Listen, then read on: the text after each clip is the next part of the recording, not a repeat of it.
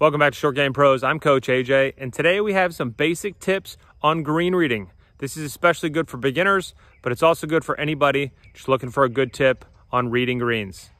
All right, we know that when we approach the green, there's so much information we could calculate, but for newer golfers or beginners, we want to keep this very simple. So in today's tactic, we're going to be looking at three different things, and all three of those are going to help you quickly and easily calculate the break.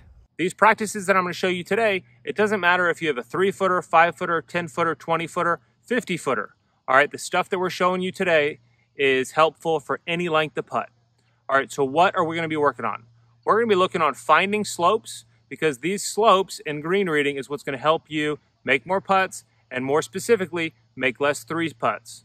So to make less three putts, speed is our best friend. So speed is definitely more important than line when it comes to preventing three putts. And what we're going to do here is we're going to determine the slopes at three different locations, and that is going to help us stop three putting.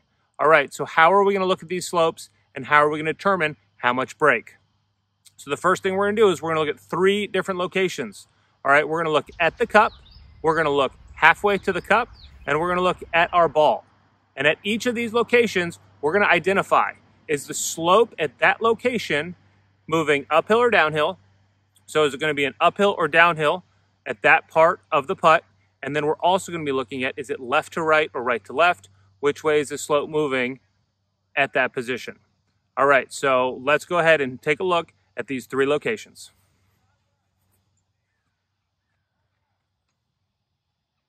All right, so at the first location here where the ball is, it feels pretty flat left to right, so no adjustment for speed, but we do have a fair amount of break moving downhill. So I'm clearly sitting downhill of this golf ball.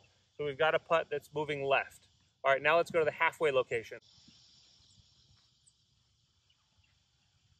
All right, halfway to the hole. Again, it's feeling a little uh, fairly flat, but we are feeling still the putt will be moving to the left. So I am downhill again of this line.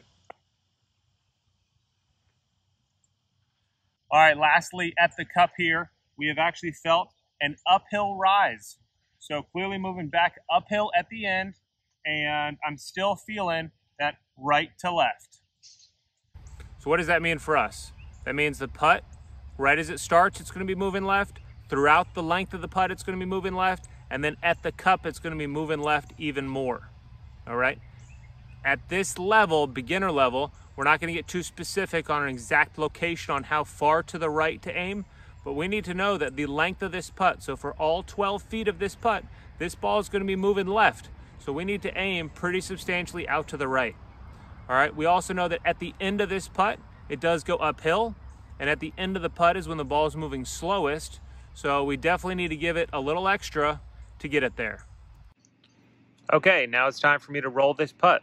So I'm gonna be aiming the putter face out to the right like we talked about, and I'm gonna be giving it a little extra effort to make sure we get it there today. I know that after you're able to read the slopes at all three of those locations, you will not only make more putts, but stop making three putts. Thanks for watching Short Game Pros. See you guys next week.